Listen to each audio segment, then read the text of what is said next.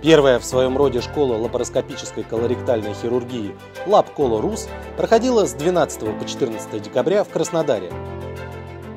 Мероприятие, объединившее дидактический курс и кадаверный практикум, было направлено на совершенствование алгоритмов лечения, практических навыков и уровня помощи пациентам. Мы увидели живую хирургию, лекции вживую, лекции онлайн. Это ведущие наши лекторы, которые, по сути, осветили все вопросы и обучения лапароскопической хирургии, толстой кишки, и те осложнения, те проблемы, которые могут быть, если хирург начинает выполнять эти операции.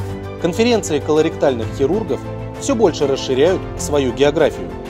Использование современных технических средств позволяет полностью стереть границы и э, обеспечить присутствие человека, как, например, сегодня Алексей Михайлович Карачун, небезызвестный всем, он находился на конференции в Москве в Институте хирургии Вишневского, так и прочел блестящую лекцию нам. Очень приятно, что это все организовано не в центре, не в Москве, не в Санкт-Петербурге, а в прекрасном городе, в Краснодаре. У нас здесь очень много друзей. Мы надеемся, что эти мероприятия такого уровня будут э, дальше продолжаться и в других областях и регионах нашей России.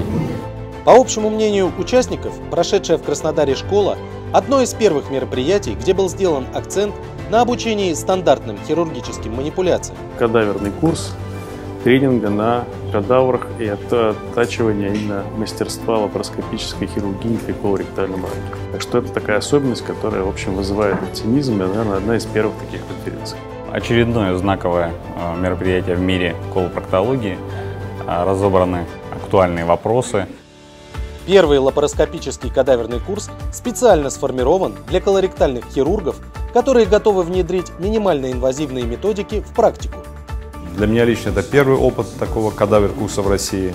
Очень много дискуссий, живого общения, живой хирургии, всего того, чего там нам не хватает в нашей обыденной регулярной жизни. Огромная благодарность нашим друзьям из Кубанского медицинского, нашим великолепным организаторам. Спасибо огромное, ребята, без вас, коллеги, бы это никогда не получилось. Все участники конференции получили новые знания и новые навыки.